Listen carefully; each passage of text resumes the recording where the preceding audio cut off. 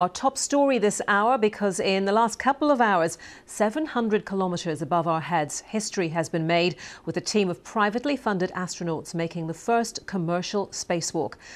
This is the moment the team on the SpaceX Polaris Dawn mission started to move out of the capsule. Uh, they were effectively testing out a new design and new techniques while paying for the privilege courtesy of billionaire tech entrepreneur Jared Isaacman who is the mission commander and indeed the first person out of the capsule. And let's show you these live pictures now from inside the capsule because after uh, being out in space uh, for Jared Isaacman and also Sarah Gillis, a SpaceX engineer, uh, the team of four, there are four on board the capsule, are now waiting while it repressurizes. Remember, there was no airlock here on this craft. The whole craft had to depressurize uh, to allow the pressure inside to become equal with that of the space around them, to match the pressure of that space. And now it has to be repressurized. So that is the process we're seeing uh, the four astronauts go through at the moment. And of course, just a reminder, they're not professional astronauts. That's one of the many new aspects of what we've seen taking place today on this historic mission. And I'm joined now, I'm pleased to say, by Libby Jackson, who is the head of space exploration at the UK Space Agency. Libby, great to have you with us on such a significant day, a day of many firsts. Many, many firsts. Uh, it is fantastic to see that this commercial space sector in low Earth orbit is taking these steps because it is the transition from a, a government funded enterprise, which we've seen over the last 50, 60 years, uh, to a place where there are new opportunities, new investors, new funding coming in, and the opportunities that that will bring for technology, uh, for new materials, things like new pharmaceuticals, will ultimately benefit everybody back on Earth. One question people might have is why isn't NASA, for example, doing this? Why is a commercial enterprise doing this?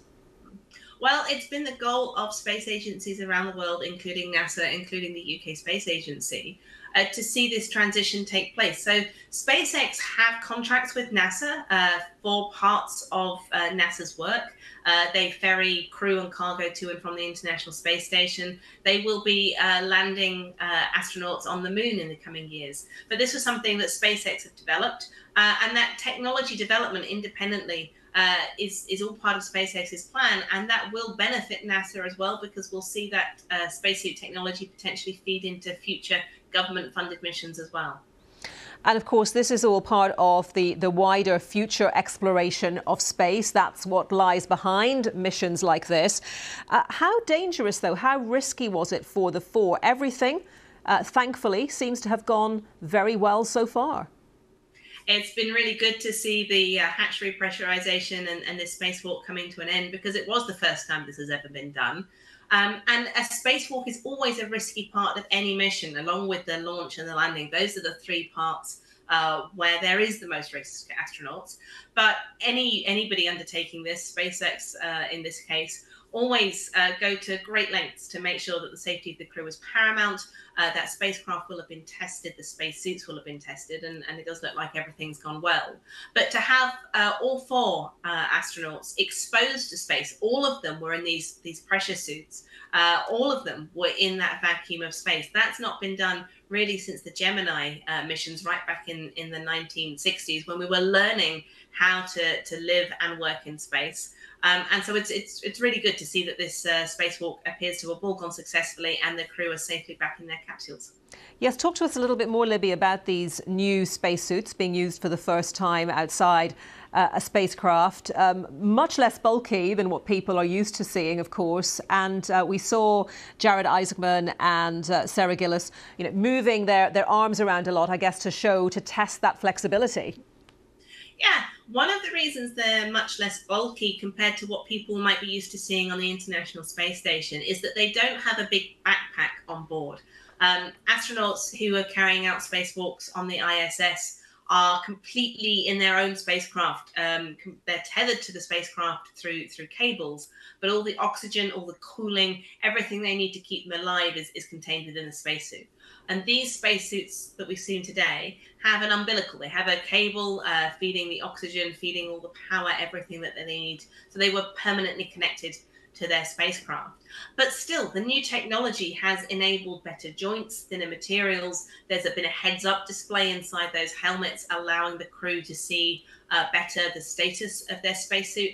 And all of these technology developments are great because we haven't seen new spacesuits developed uh, for decades. Uh, there are now new spacesuits being developed, uh, not just by SpaceX here, but also uh, looking forward, we will have to have new spacesuits uh, for landing on the moon, uh, for the Lunar Gateway. And so, yeah, technology pushing forward, uh, improving spacesuits benefits everybody uh, in space. But we'll see the technology also filter through into applications on Earth into similar places, and that's great. Hmm. So we're continuing, Libby, as, as we chat to watch these live pictures. I always find it incredible. I never tire of something like this, you know, seeing these live pictures from space coming to us. And alongside Jared Isaacman and uh, Sarah Gillis, who I've already mentioned, uh, we have Scott Poteet, who's the mission pilot, a retired US Air Force. Uh, um, a lieutenant, uh, lieutenant, and Anna Menon, uh, also a SpaceX senior engineer. They're the other two members of the crew. And uh, it's interesting to observe that at the moment, Libby, there are more people in space than ever before since the history of, of space exploration began. It is fantastic. It, it's wonderful to see. We, have got the crew on the International Space Station who have just been joined, uh, I think, yesterday uh, by the, the new crew launching in the Soyuz. So there are nine there. Uh, there are the four uh, on board Polaris Dawn, and there are the three taikonauts on the uh, Chinese space station. It's a sign of, of what is happening in low Earth orbit that slowly but surely uh, this is opening up new opportunities. Um, there will be commercial opportunities there. We will see uh, new areas of economy develop.